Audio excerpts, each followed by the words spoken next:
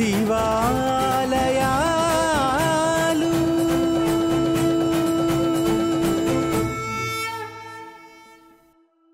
ఓం అరుణాచలేశ్వరాయ నమ. ఓం నమో భగవతే శ్రీరమణాయ. ఓం సుందరేశాయ నమ. శ్రీ శివనిధి శివాలయాల కార్యక్రమంలో ఈరోజు దర్శించుకునే అత్యంత విశేషమైన క్షేత్రం తిరుపుగులూరు క్షేత్రం. ఈ క్షేత్రంలో ఈశ్వరుడు అగ్నిపురీశ్వరుడు అమ్మ పార్వతీదేవి శూళికాంబికగా మరొక ఆలయంలో వర్తమానేశ్వరుడు మనోన్మణిగా కొలువుదీరి భక్తులను అనుగ్రహిస్తున్నారు. ఈ క్షేత్ర స్థల పురాణాన్ని అనుసరించి అగ్నిదేవుడు ఈ క్షేత్రంలో చంద్రశేఖరమూర్తిని ఆరాధించగా చంద్రశేఖరమూర్తి అగ్నిదేవునికి రూపాన్నిచ్చారు. అందువల్ల ఈ క్షేత్రంలో ఈశ్వరుడు అగ్నిపురీశ్వరుడిగా పేరుగాంచారు. ఇక్కడ ఉన్న అగ్నికి రెండు ముఖాలు ఏడు చేతులు మూడు కాళ్ళు ఏడు జ్వాలలతో కూడిన రూపం అత్యంత విశేషమైంది.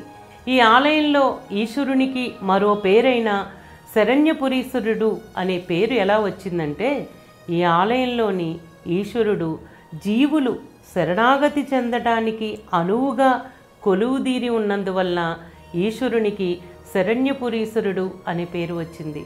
ఈ క్షేత్రానికి పున్నాగవనం శరణ్యపురం రక్తారణ్యం అనే పేర్లు కూడా ఉన్నాయి. ఈ క్షేత్రంలో మరొక విశేషం ఏంటంటే మహావిష్ణువు పత్ని అయిన భూదేవి ఈశ్వరుణ్ణి ఆరాధించాలని సంకల్పించి శివలింగాన్ని ప్రతిష్ఠించి ఈ ఆలయంలో ఈశ్వరుణ్ణి ఆరాధించింది. భూదేవి భక్తికి సంతసించిన పరమేశ్వరుడు ఆమెకు తన తాండవ దర్శనంతో అనుగ్రహించారు.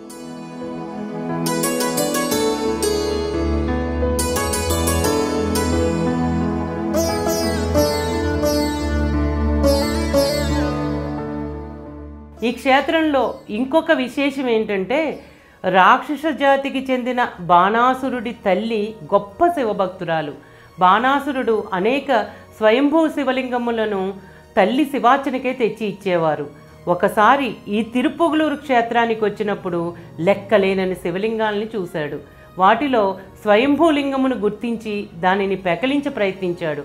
అది సాధ్యం కాక ఆలయం చుట్టూ పెద్ద కందకం త్రవ్వి శివలింగాన్ని కదిలించే ప్రయత్నం చేశాడు.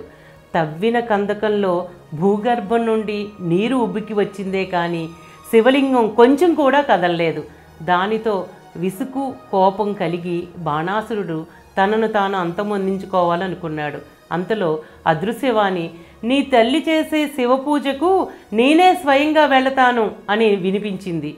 ఆ తర్వాత శిరస్సున పున్నాగ పువ్వులను ధరించి బాణాసుడి తల్లి ముందు ఈశ్వరుడు ప్రత్యక్షమయ్యారు. ఆమె పూజ ముగిసిన అనంతరం పరమేశ్వరుడు తిరుపుగులూరు క్షేత్రానికి తిరిగి వచ్చారు. ఈ సంఘటనకు ప్రత్యక్ష సాక్ష్యంగా ఇప్పటికీ ఈ తిరుపుగులూరు ఆలయం చుట్టూ కందకంలో నీరు నిలిచి ఉంటుంది. ఈ కందకాన్ని అగ్నితీర్థం అని పిలుస్తారు.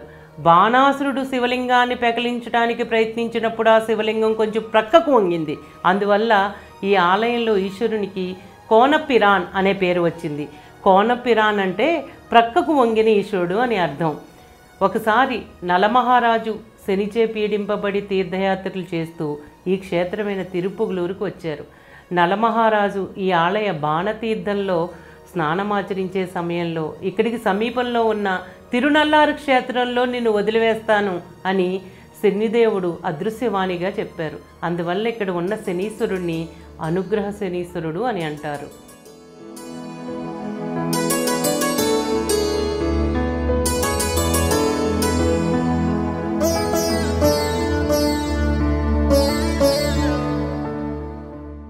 ఈ క్షేత్రంలో అత్యంత అనుగ్రహప్రదమైన విశేషం ఏంటంటే అరవై ముగ్గురు నాయనార్లో ఒకరైన మురుగు నాయనార్ ఈ క్షేత్రంలో జన్మించి ఈ ఆలయంలో కొలువు తీరి ఉన్న వర్తమానేశ్వరుని పూజించేవారు. ఈ ఆలయంలో ప్రతిరోజు ఆరు కాలాల పూజకు మురుగనాయనారు అనేక పువ్వులను సేకరించి పూమాలలను కట్టి ఈశ్వరుడికి సమర్పించేవారు.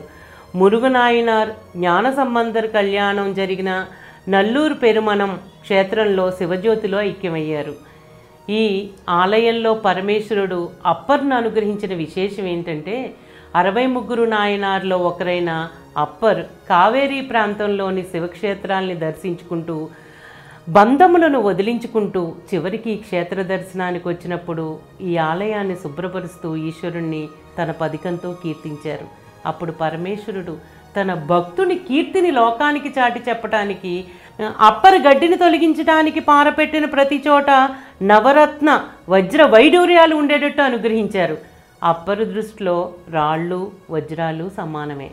కాబట్టి వాటన్నిటినీ తట్టలోకి ఎత్తి కోనేరులో పారబోశారు. తర్వాత ఈశ్వరుని సంకల్పంతో ఎనభై ఒక్క ఏళ్ళు వయసున్న అప్పరు ముందు దేవకన్యలు అప్సరసులు వచ్చి పాడుతూ నాట్యం చేస్తూ అప్పరికి దగ్గరగా సమీపించారు. శివపాదాల మీదే లగ్నమై ఉన్న అప్పర మనసు వీటి వల్ల కొంచెం కూడా చెలించలేదు. నిశ్చల భక్తితో ఆయన మనసు నిండిపోయి ఓ పరమేశ్వర నిన్నే శరణుజొచ్చిన నన్ను కరుణించి నీ దివ్య పాదాల చెందకు చేరే అనుగ్రహాన్నిమ్ము అని ప్రార్థించి ఈశ్వరునికి పరిపూర్ణ శరణాగతి చెందగా శరణ్యపురీశ్వరుడు అప్పర్ను సశరీరిగా శివలింగంలోకి ఐక్యం చేసుకున్నారు. దేవదుందుబులు మ్రోగుతుండగా దేవతలు పుష్పవర్షం కురిపిస్తూ ఉండగా ఎనభై ఒక్క ఏళ్ళు కలిగిన ఆయన జీవితం ఆ రోజుతో శివపాదాలు చెంత శాశ్వత నివాసాన్ని ఏర్పరచుకున్నారు. ఇప్పటికీ చైత్రమాసం శతభిష నక్షత్రంలో అప్పరు పరమేశ్వరుడు ఐక్యమైన ఉత్సవాన్ని భక్తులు అత్యంత విశేషంగా వైభవంగా ఈ ఆలయంలో జరుపుకుంటారు. ఆనాడు జరిగిన సంఘటనకు గుర్తుగా శివభక్తులందరూ కలిసి ఏ స్థలంలో అయితే ఈశ్వరుడు అప్పరకు వజ్ర వైడూర్యాలను ఇచ్చారో అక్కడ అలానే వాటిని పోసి అప్సరసలు నాట్యమాడుతుండగా అప్పరు ఉత్సవమూర్తి వస్తుండగా ఈశ్వరుని ముందు అప్పర్ నుంచి అగ్నిపురీసుని సన్నిధిలో తెరవేసి గర్భాలయం అంతా కర్పూర ధూపంతో అప్పరు ఐక్యమయ్యే సంఘటనను జరిపిస్తారు. ఆనాడు మనమెవ్వరము ఆ సంఘటనను దర్శించలేదు. కానీ ప్రతి సంవత్సరం భక్తులు చేసే ఈ మహోత్సవాన్ని దర్శించే ప్రతి భక్తుడు ఆనాడు పరమేశ్వరుడు అప్పర్ను అనుగ్రహించిన విధానాన్ని దర్శించుకుని ఆనందానుభూతులతో నిశ్చలంగా ఉండిపోతారు. ఈ ఉత్సవాన్ని భక్తులందరూ దర్శించుకోవాలని నేను ప్రత్యేకంగా మిమ్మల్ని అందరినీ కోరుకుంటున్నాను.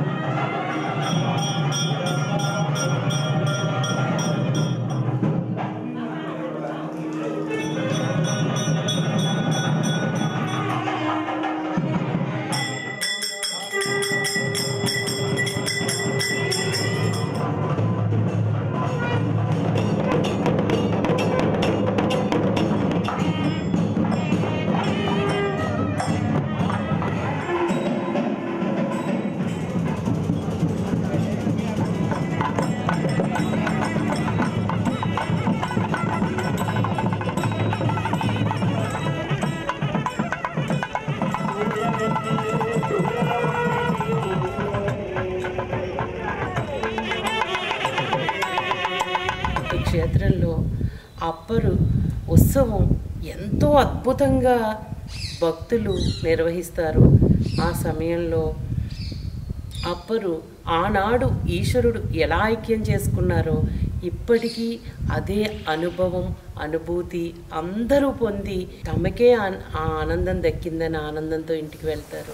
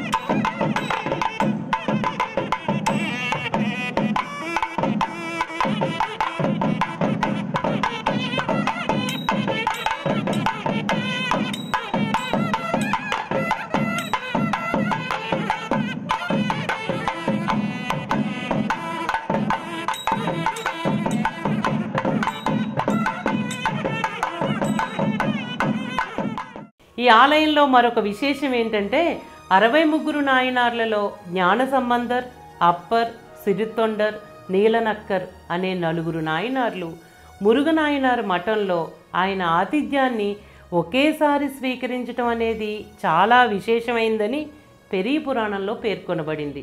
ప్రస్తుతం ఈ మఠం వేలకురిచ్చే ఆధీనంగా ఉంది.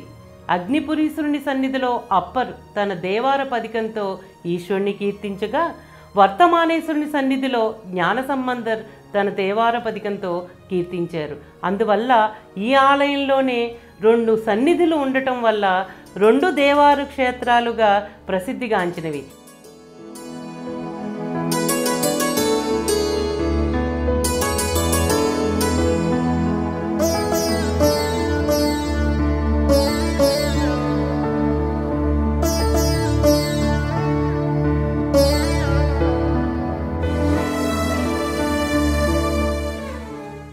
ఈ ఆలయంలో సుందరుడు తన దేవార పదికంతో ఈశ్వరుని కొనియాడారు.